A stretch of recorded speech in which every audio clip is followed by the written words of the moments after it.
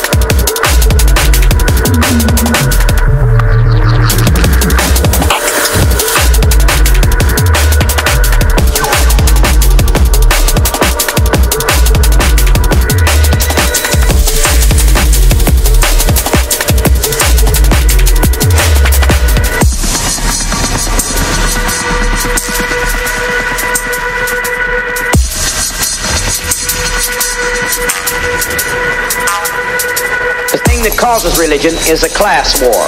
If there were no rich, no poor, if everyone were equal, religion would be soon to disappear. People only develop religion when they're unhappy with this world.